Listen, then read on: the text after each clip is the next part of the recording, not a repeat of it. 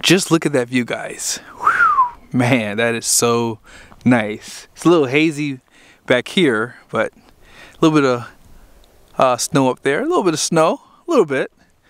Today is a day I'm gonna finally do this video. This video is like supposed to have been done like six months ago. I'm not even joking. Like I was supposed to do this video like six months ago when I had my Chevy, and I'm talking about my white Chevy. So I forgot to do it. So in this video, we're gonna do it. So if you have a Chevy or GMC, you're gonna love this video because there's probably a few things you don't know about these trucks. And let's go ahead and go through it. I love the new refresh for these pickups. They have a lot of nice features and some of you guys have been asking me about some of it. So let's go ahead and start off with the biggest thing that people did not know you could do with these trucks, which I thought was pretty crazy because I figured it out on my first GM product that I bought, which was the mirrors. So if you have power folding mirrors on your truck, you can actually set it up with your key. Now let's go ahead and grab the keys out because I want to show you guys the animations here. So uh, I won't be able to do it together, but I just dropped my key too, by the way. But yeah, let's just go ahead and do the GMC first. So you guys see the mirrors, they come out. You have the animations on the headlights. Pretty cool. Now when it's dark, it'll actually turn on the projectors individually and then it'll turn on the other lights, which is really cool. Now the Chevy does the exact same thing. You have those animations and LTZ because it has the power folding mirrors you can actually set it up with the key let me show you guys how to do that on the Chevy all you have to do is go in through your menu find the settings and when you go to vehicle you'll see that it'll have comfort and convenience so basically all you have to do is hit remote mirror folding you check this and it's done I want to make sure it was the exact same for the GMC and it is. So you just have to go through settings, comfort and convenience, and boom, you have it right there. And the mirrors pretty much work the exact same. So if you lock the door with the key, it'll basically put them in for you. So that's the one thing I do like about these trucks is that they give you that option. I think Ford gives it to you, but Ram does not. Now, one thing to note, if you hit the power fold button on the inside. It does not work with the key to unfold them. So just keep that in mind because sometimes you might think, oh, something's wrong with the truck or something happened or whatever. I don't know. So I just want to make sure that you knew that. So up next, let's talk about the home menu. And this is going to be the exact same for both trucks, so I'm not going to show it to you on the GMC. So here we go. Let me go ahead and start it up, and I'll show you guys what I'm talking about. So here's basically your home menu, okay? This has a docking station. Now, one thing that I did was when I got this truck, I noticed that I really needed to use my backup camera because I move a trailer for our church every Sunday morning. And it's nice to have the camera already in here because I always like to see just how far I am when I'm making a U-turn with that trailer, how close I am to coming into contact.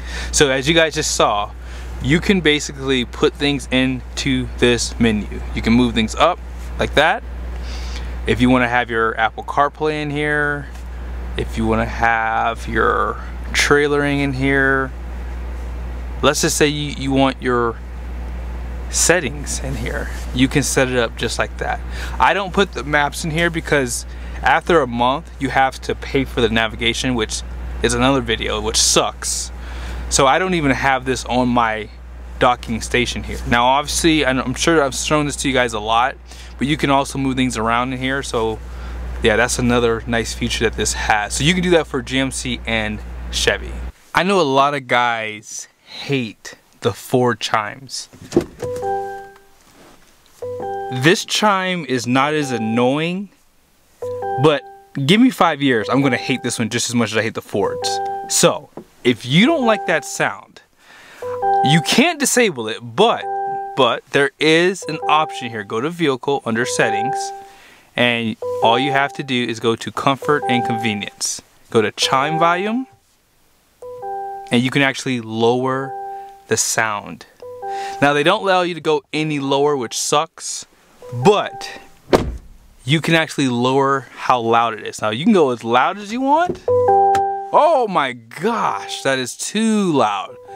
But they only allow you to go down so much, which kind of stinks. Now I'm pretty sure at some point they will have, or an aftermarket company will have a way to disable this altogether, which would be nice. My Chevy does not have this option, but my GMC does. You see right here? I always talk about this in my review videos. I say the trucks have the cameras with the sprayer. Well, how do you actually turn that sprayer on? First things first, let's go ahead and turn the camera on up front so you guys can see. Now, all you have to do, do you guys see right? Hopefully you can see in between the spoke here, right there. So I'm gonna push this button. You see that? So when you do the windshield wiper um, spray, it does automatically turn on the one for the sprayer for the camera as well. And there you go. You can see some of the water down there. And now the camera is a lot cleaner. So where are my key losers at in the comment section? I'm a key loser for sure.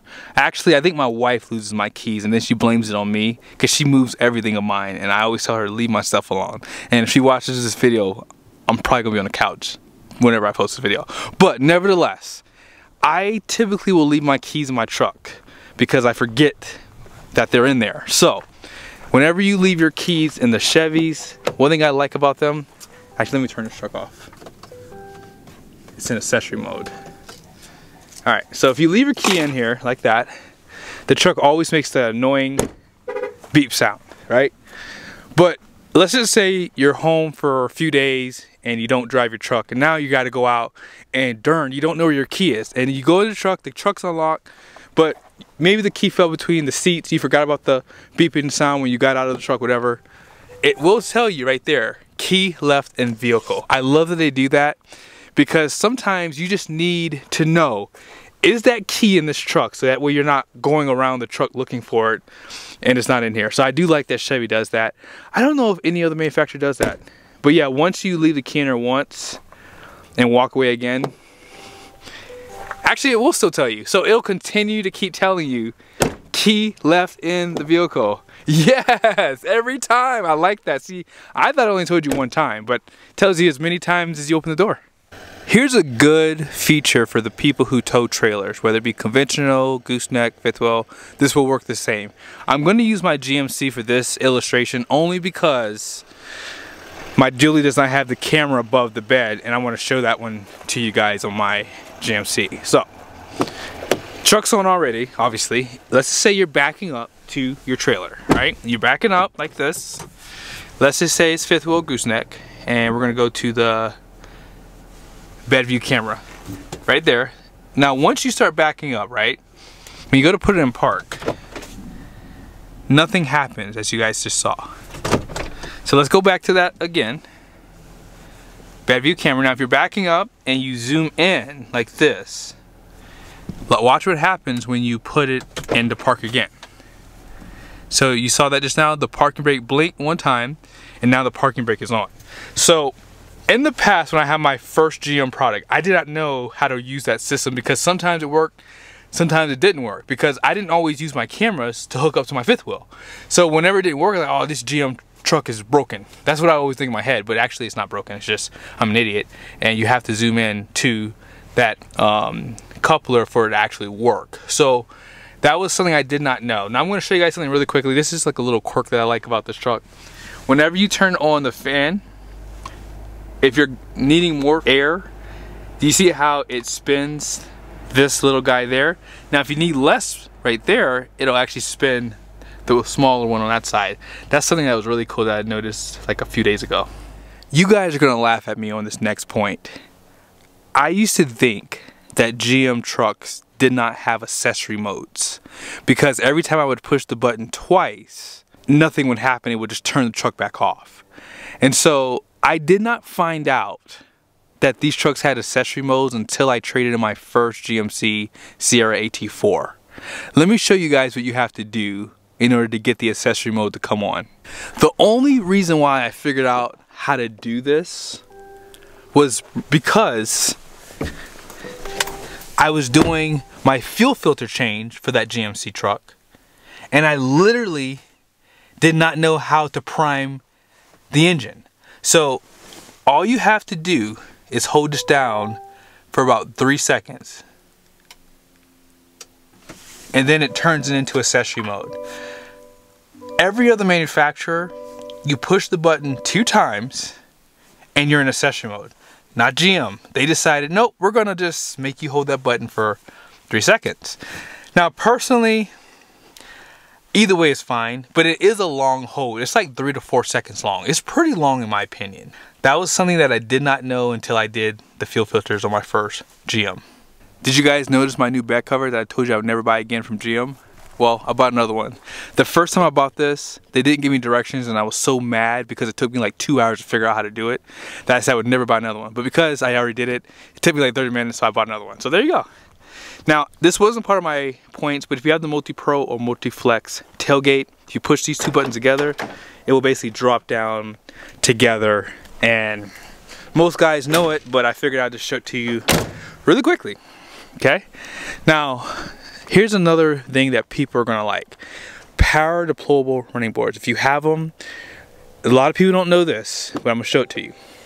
If you have these, and let's just say you're at a car wash or you're washing your truck and you don't want them to go up, right? If you step on it like this, they will stay down for you. You can do it on both sides and it does not damage the motor, blah, blah, blah, blah.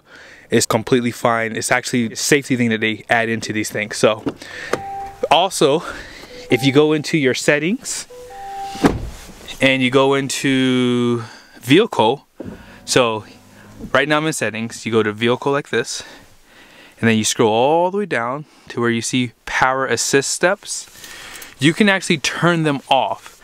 If I did not have a wife and kids, they would never come down. They would always be in that position. But because I have a wife and kids, well, I keep them on because I can get out of the truck pretty darn easily. Now, if you don't feel comfortable stepping on your running board to keep them out, you can push this button here and it will deploy them on both sides. Most guys know this, but you know, hey, if you didn't know, well, now you know. Now, this point was not on my list, but I figured I'd show it to you. If you go under settings, comfort and convenience, you guys will see reverse tilt mirrors. Now, you can obviously set it up for the driver's side or the passenger side or both. I have it up for both. Now, if you put the truck in reverse, it will allow the mirrors to go down like you just saw, right? And if you're backing up like this and then you stop the mirror will actually go back up. It takes it a little bit of time. It will go back up for you. And I don't know how it does it. I don't know when it does it. It will just do it for you. And I think it's when you like you kind of like are just staying still. There it is. So there it goes. I don't know how to make it do it automatically, but it's nice that it will allow it to go back up.